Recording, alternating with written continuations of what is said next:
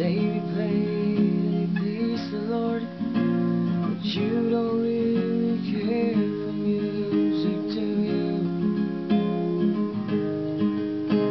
It goes like this, the fourth, the fifth.